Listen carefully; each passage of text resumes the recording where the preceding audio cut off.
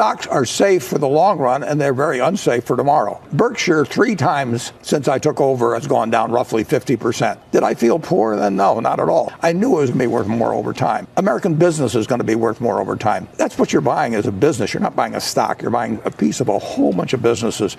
Are those businesses going to be worth more 10 or 20 or 30 years from now? Of course they are.